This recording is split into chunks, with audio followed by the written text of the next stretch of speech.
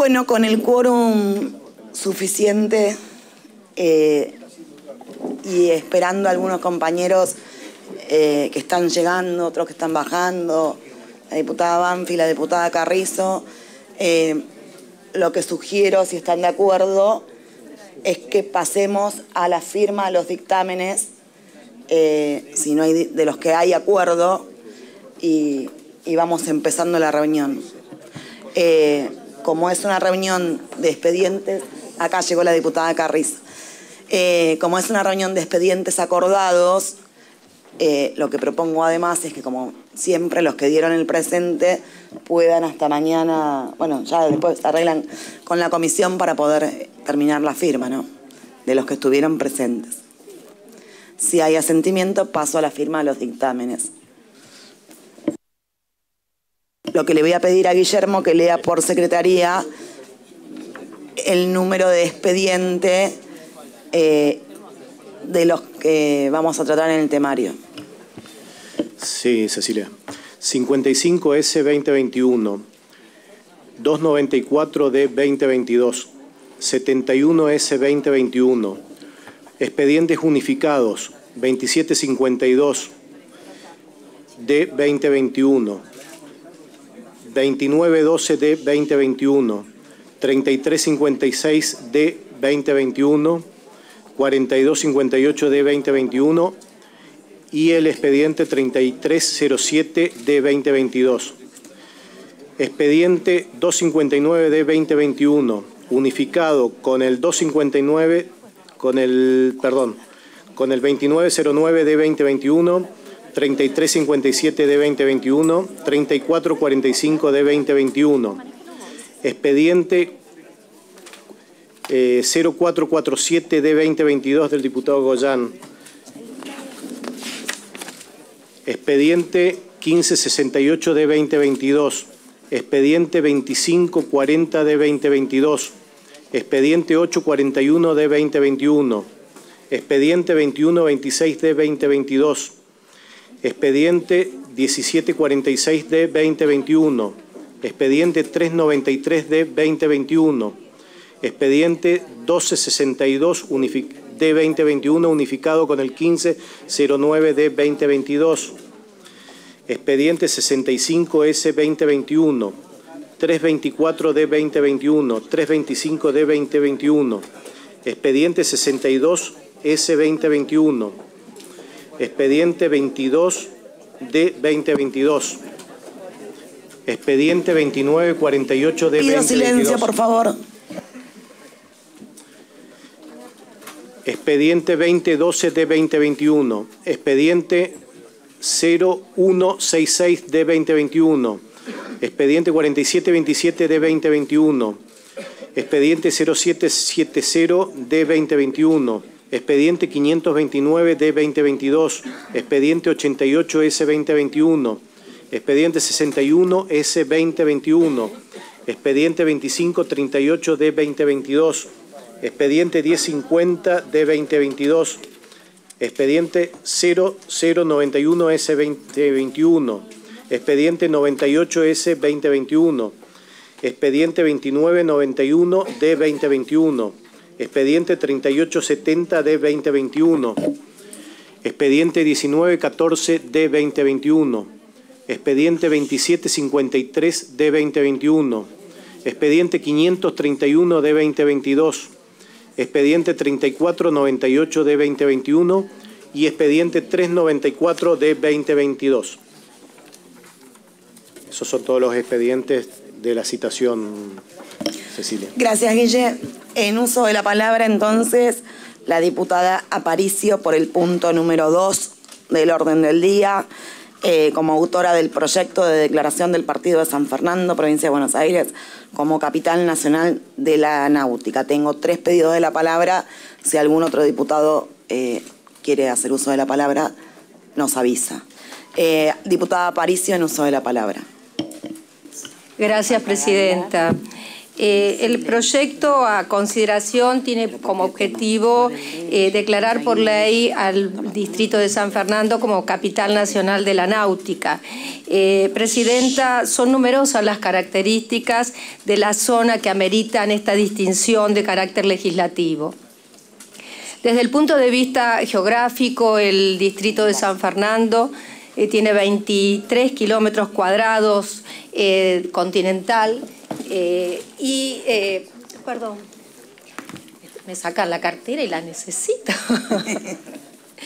Eh, entonces tiene 23 kilómetros cuadrados, continental, densamente poblado y posee unos 924 kilómetros de delta, de territorio en delta, que para que ustedes tengan una idea es tres veces la capital federal siendo el territorio distrital más de mayor eh, tamaño dentro del delta de la provincia de Buenos Aires.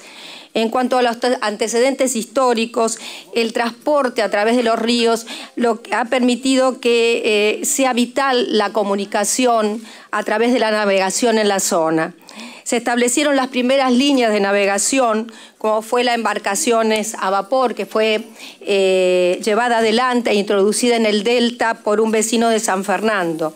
Posteriormente se creó la Compañía de Navegación Isleña.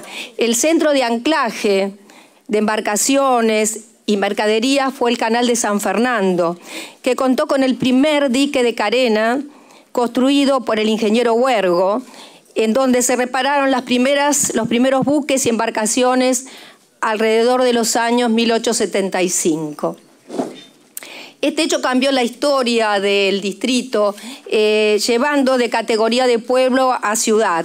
Actualmente la actividad náutica es una actividad de las más notables del distrito, con gran presencia de astilleros que fabrican embarcaciones livianas, clubes náuticos, y además hemos recibido y hemos tenido eh, grandes deportistas con, eh, que han obtenido títulos importantes. Además hay una actividad canalera y actividad comercial y de madera. San Fernando además cuenta con la sede de la Cámara Argentina de Construcciones eh, de Embarcaciones Livianas, CACEL. Desde 1969 representa a la industria naval liviana, realizando en octubre de todos los años, este año va a ser el 23, eh, salón náutico con alcance nacional e internacional. Nuclea toda la industria naval del sector liviana. Todos los años más de 20.000 personas asisten eh, a esta exposición. Este sector es liderado por el consorcio Parque Náutico, que es una sociedad eh, mixta eh, representada el 51% por el municipio de San Fernando y el 49% de Casel. Fundamentalmente este consorcio más el resto de eh, empresas privadas tienen un número importante de guarderías y embarcaciones, siendo San Fernando en la región quien eh, tiene el mayor eh, sector en este sentido, más de 10.000 embarcaciones. En este contexto, las vecinas y los vecinos de San Fernando sentimos una gran identidad con el río y una gran eh, identidad con la actividad náutica. el distrito posee el primer establecimiento educativo público eh, eh, formador en la provincia de Buenos Aires, el primero, formador de técnicos en construcción naval. Y la Universidad Nacional de Quilme tiene su astillero también en nuestro distrito eh, para la práctica de la carrera de arquitectura naval. El Estado municipal, más allá de las distintas ideologías que han conducido el distrito, han tenido como política de Estado llevar adelante un incentivo a la actividad náutica y la recuperación de la costa para uso y disfrute de los vecinos. Ejemplo de ello es la recuperación por ley provincial en diciembre del año 2018 de la administración de la costa por parte del municipio. También en el año 2019 se recuperaron los terrenos de eh, costeros de Marina del Norte que fueron privatizados por 32 años. Esto permitió ampliar la costanera y renovar municipal conviviendo la actividad náutica con el disfrute eh, de la costa por parte de los vecinos. Para terminar, señora presidenta, es importante eh, marcar el antecedente de esta política de Estado.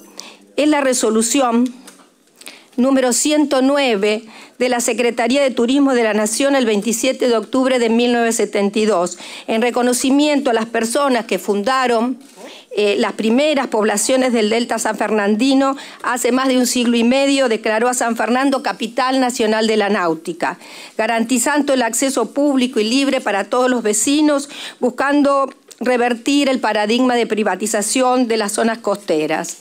Esto es un, eh, triunfo, eh, así lo entendemos en el distrito de las familias isleñas. entonces, señora presidenta, este año se cumplen en octubre, el 27 de octubre, 50 años de haber sido declarada por la Secretaría de Turismo de la Nación como Capital Nacional de la Náutica. Por eso pido a mis pares el acompañamiento.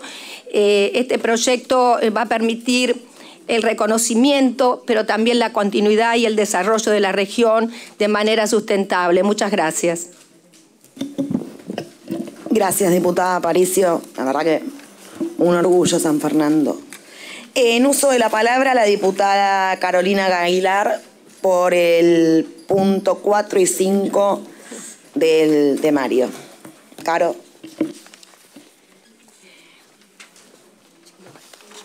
del frente de todos, no sé si hay otro dictamen. Bueno, Presidenta, la verdad que hoy es un día de mucha alegría para, para nosotros, para los entrerrianos, porque este es un proyecto emblemático. Eh, es eh, el proyecto de ley, o sea, vamos a dictaminar sobre dos proyectos de ley, el de la diputada Maida Cresto, eh, es el 2752 de 2021, y el de la diputada Blanco Zuna, que es el 3307 de 2022, que lo que hace es representar el proyecto de la diputada Cresto con una observación o modificación que se había visto en el dictamen que logramos a fin del año pasado. ¿Cuál es la importancia para los entrerrianos de este proyecto? Que está proponiendo la transferencia de los inmuebles del puerto de la delegación Paraná Medio, que está ubicada en el norte de la ciudad de Paraná, al municipio de la ciudad de Paraná para que pueda reutilizarse y ponerse en valor. Cuando ustedes vayan a Paraná van a ver que van recorriendo la costanera y toda la parte de los edificios que correspondían a vías navegables están eh, en un estado de obsolencia donde se acumula chatarra y está todo en desuso y lo que se, nos proponemos es poder reutilizarlo, ponerlo en valor, que se transforme en un espacio cultural, que permita el uso de todos los ciudadanos de la ciudad de Paraná, de los entrerrianos y quienes nos vengan a visitar y de eso se trata esta transferencia. Para poder llevar adelante las obras de puesta en valor necesitamos que el inmueble sea del municipio. Así que bueno, agradecerles a todos que nos hayan acompañado con el dictamen y, decirles que bueno, es, un espacio que, que, nos va a permitir también el desarrollo de todo nuestro borde costero que hoy está impedido por justamente estar estos distintos predios que están en este espacio eh, de alguna manera cerrado y no pudiendo ser utilizados. Muchísimas gracias. Gracias Carolina. Bueno, expediente que ya veníamos tratando hace rato. En uso de la palabra, sí.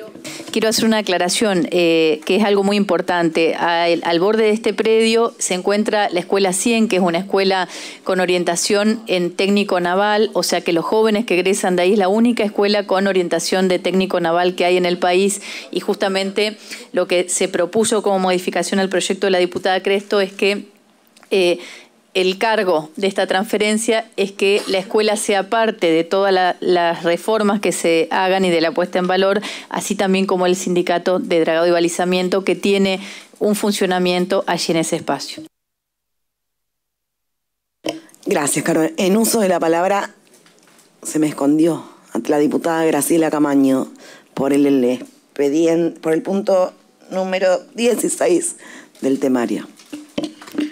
Sí, gracias, Presidenta. Voy a tratar de ser breve porque en realidad de lo que se trata es de establecer el Día Internacional de la Diversidad Biológica en atención a la resolución 55 del, del 2001 de la Asamblea General de Naciones Unidas que proclamó precisamente el convenio de biodiversidad biológica ya por el año 1992.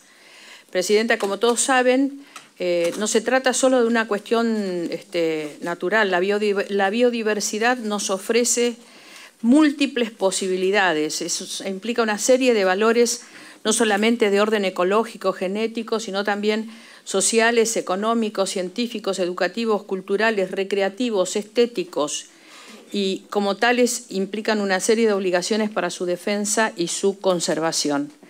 Eh, es así de sencillo el proyecto, lo que intenta es establecer el día este, 22 eh, de mayo como, como, Día de la Diversidad Biológica.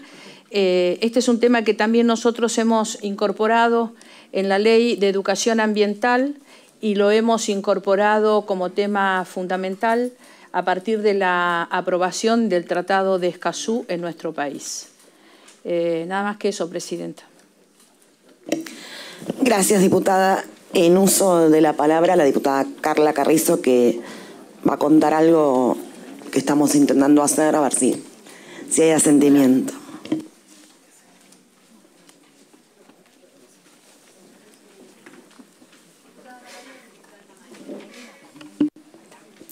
Sí, un poco comentarles a todos los integrantes de esta comisión que entre los integrantes de las autoridades de esta comisión estamos trabajando el modo de ver si podemos tener una resolución interna de la Comisión de Legislación General para todos esos proyectos que lleguen donde el objetivo sea nacionalizar, visibilizar, eh, destacar, digamos, que tenga una voz nacional ese tema, sea un día, sea una jornada, en generalmente sean los días, ver si podemos, obviamente con acuerdo del autor, eh, que proponga eso, transformarlo utilizando el artículo 114 del reglamento, transformarlo en una declaración de la Cámara de Diputados de la Nación de interés nacional, de modo que un poquito la práctica, vamos a cuando tengamos el borrador, se los pasamos, pero nos parece que a los fines de agilizar, si nosotros podemos, con acuerdo de los autores y de los diputados, transformar ciertos proyectos de ley en una resolución votada por unanimidad, automáticamente es una disposición de la Cámara de Diputados de la Nación y seguramente la Cámara, que tiene una política de visibilizar,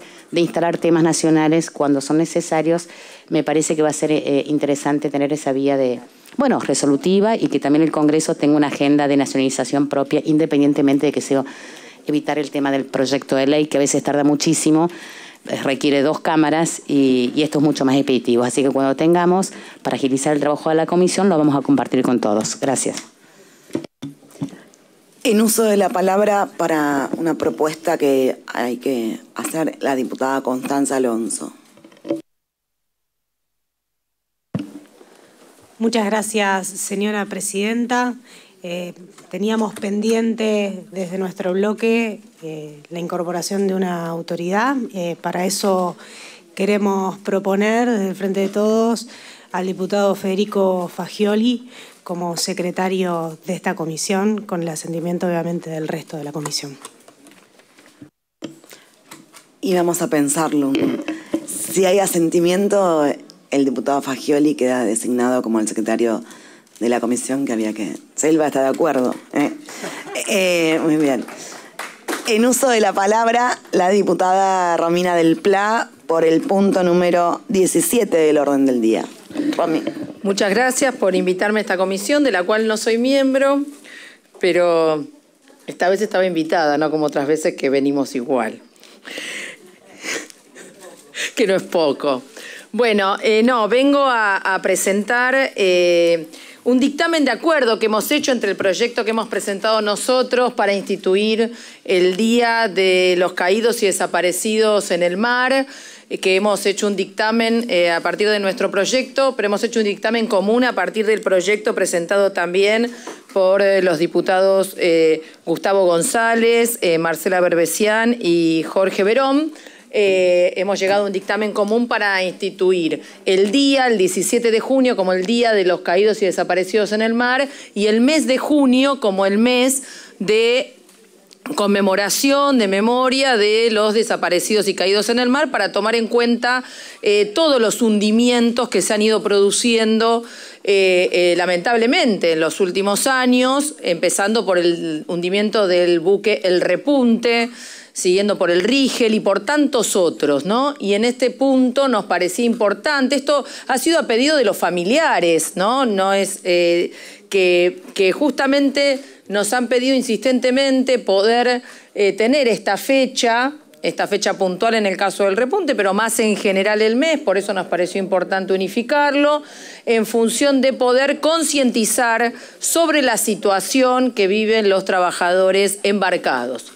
Queremos decir que a partir de, bueno, de este movimiento, ningún hundimiento más, justamente, se ha logrado ya que se tomaran una serie de medidas eh, de, seguridad en las embarcaciones. Ya se ha logrado un primer paso importante a partir de este reclamo de los familiares en mejorar la situación de la seguridad en las embarcaciones eh, en relación a los elementos que tiene que haber, los eh, trajes de, salvataje, eh, y demás. Entonces, en ese sentido nos parecía importante, bueno, hemos llegado a este acuerdo, así que nos parecía eh, que sería un paso, quedan muchos más, por supuesto, pero nos parecía importante como homenaje, como fechas de concientización eh, y como, bueno, punto de, también de apoyo y de abrazo a todas esas familias que siguen peleando por los derechos de sus familiares que han caído en condiciones de trabajo y de navegación que no eran las las que correspondían y que no fueron debidamente las medidas eh, controladas por las autoridades que debían realizarlo. Así que este es el, proyecto, pedimos que, bueno, que acompañen este dictamen de acuerdo a efectos de que pueda ser aprobado. Muchísimas gracias. Gracias, Romy. En uso de la palabra por el punto número 31 del temario, la diputada Vanessa Siley. Muchas gracias, Presidenta, y muchas gracias a todos los diputados y diputadas por el acompañamiento que, han realizado a este proyecto que, hemos presentado, que es un proyecto colectivo, un proyecto eh, que acompañaron todos los que son diputados y diputadas de extracción sindical para instituir el día 23 de agosto como el Día de la Militancia Sindical, precisamente en honor a Felipe Vallese. Felipe Vallese, que fue un delegado metalúrgico de la empresa TEA y que fue y es considerado el primer desaparecido de la República Argentina, desaparecido allá por agosto, este día, 23 de agosto del 62, ya en el marco del plan Conintes, ya en el marco de, lo que fue eh, eh, el, las leyes que les voy a nombrar porque me parece importante, que en su momento se denominaban las leyes del terrorismo, ¿no? Eh, entre el año 1961 y 1962 estamos hablando de la ley 15.293 de, de, represión al terrorismo y eh, ya después en el año 63 quien fue incluso el presidente de facto, José María Guido, las eh, a través de una amnistía general terminó levantando eh, a todos los detenidos y, mm, a quienes fueron perseguidos en el marco de estas normativas. No así con Felipe Vallese, no así con él. Eh, entonces me parece importante que haya un reconocimiento y una reparación una reivindicación a un joven de 22 años como era Felipe Vallese, militante metalúrgico de aquellos años. Rescato para finalizar, Presidenta, desde ya muy agradecida por este acompañamiento al proyecto. Rescato y quiero rescatar y hacerle eh, honor también a un compañero metalúrgico que falleció hace poco, eh, el compañero Agustín Colobos, a quien cariñosamente le decíamos Piraña, militante sindicalista de la UOM del partido de Morón. Eh, falleció hace poco fruto de un cáncer que se le agravó por la pandemia algo que muchas veces no vemos como los efectos colaterales de la pandemia que vivimos, ¿no? Y él, en un libro que él escribió como parte de la juventud peronista y de la juventud de la UOM, dijo, quiero decir que no hay proyecto gremial, provincial o municipal sin proyecto nacional. Esa es la integralidad de la militancia de Vallese por eso es tan importante levantar la militancia integral de Vallese y de los miles de valleses que no paran de nacer, de militar, de luchar y de discutir. Gracias, Presidenta. Gracias, diputada Siley. si nadie más quiere hacer uso de la palabra, la diputada Dina Resinowski en uso de la palabra. Muchas gracias, Presidenta. Por fin vamos a reivindicar la obesidad y las cosas que nos genera. Uno de los, de los cuatro proyectos que están en esta comisión y en el tratamiento del día de hoy, dos que son eh, mío, sí, dos que son de mi autoría y dos que se suman a la media sanción que ya viene del Senado.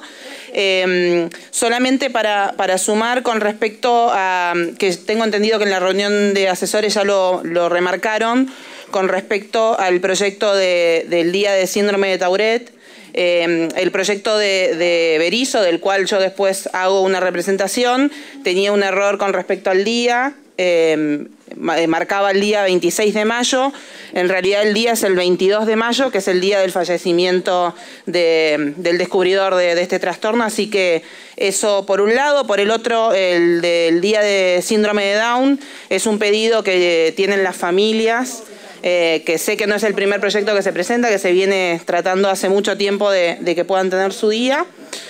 Eh, así que es, eh, es, un pedido ahí del sector. Y por último, los dos proyectos que se suman a la media sanción. El tema de la obesidad es un tema muy, muy difícil para quienes lo padecemos. sobre todo la discriminación, el bullying al que muchas veces somos sometidos. Me pasé la infancia sufriendo bullying por el tema. el año pasado también cuando el año pasado, después de la media sanción de aborto, eh, fue noticia nacional, eh, lamentablemente, eh, pero hoy por hoy muchas de las personas que tenemos visibilidad por nuestro cargo, me imagino que le pasa, no es solamente a mí, que le pasa a muchos, el insulto muchas veces es el recurso que se tiene cuando no se puede rebatir una idea y lamentablemente he recibido a través de todos estos años eh, muchas descalificaciones desde ese lugar, frases que lamentablemente siguen surgiendo cada vez que uno hace un posteo porque eh, muchas veces se, recurre, a, eso. Frases que no quiero repetir tampoco, la tenía escrita acá porque la verdad es eh, muchas veces eh, doloroso escucharlas, pero creo que el poder trabajar no solamente en un día de concientización, sino también hay proyectos que tienen que ver con eh, la educación en alimentación saludable en las escuelas y también una deuda que, se tiene con, la gente que más lo necesita, que es eh, un empleo digno para que la gente pueda tener sus ingresos, para tener opciones saludables que elegir a la hora de alimentarse para que podamos luchar contra la obesidad y el problema de la discriminación no sea tal porque luchamos contra la obesidad y la pudimos combatir. Así que gracias por poner estos temas eh, en el temario de hoy y espero que puedan tener el dictamen positivo. Gracias. Gracias, diputada, que nos digan gordas, pero la verdad que un, elogio porque es lo máximo que pueden decir, no pueden discutir ideas. Así que nada, eh, muchas gracias a todos por haber venido, por los consensos, a los asesores que trabajaron en la comisión, falta una tanda de firmas más eh, y bueno, nada, nos estamos viendo en la próxima reunión.